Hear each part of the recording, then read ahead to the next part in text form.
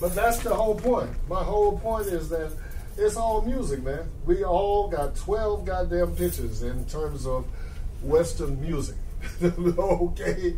We got 12 damn pitches. People come up with alternate tunings and all that. But for the most part, 99% of our music is based on them damn 12 notes. Okay? Sorry. I don't want to hear this bullshit about this is this, this is better than this, and all that kind of shit. It's good music and it's bad music. That's what it is. Okay?